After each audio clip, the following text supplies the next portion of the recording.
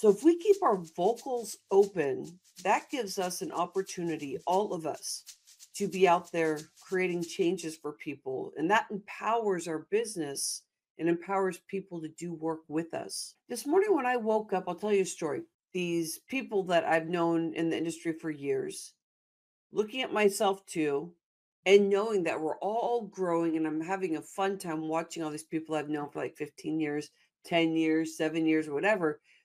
But people that I've known, they're just nailing it. If you're feeling good and your vocals are open and you're expressing yourself and you feel like your flow is happening, something special really happens when you look at somebody nailing it. You go, oh my gosh, they're nailing it. I can't wait to do that. Oh my gosh, what are they doing? This is so cool.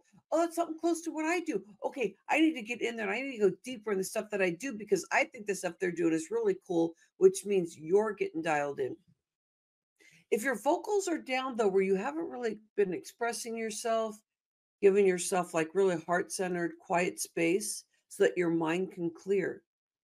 An example is if you keep going, going, going, going, then you can't really get connected with what your mind, what you're really feeling, because you're going to be in your cycles over and over and over. You're going to really believe everything that your brain is saying to you.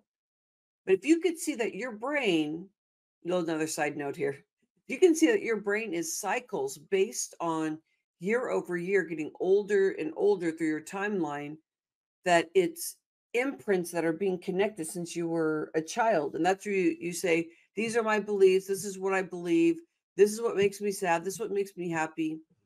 But when you start getting into your quiet space, you start really seeing yourself, your alignment, what you're asking for. And so the old patterns of how you were raised, what people said, you get to make those decisions in a different way. You get to change. And you get to feel comfortable feeling raw with these changes. Maybe not everybody agreeing with you. But when you get in that state where you get into more purpose, you can feel it, that your cycles aren't shutting you down, and you if you don't slow down, you'll just keep in your cycles.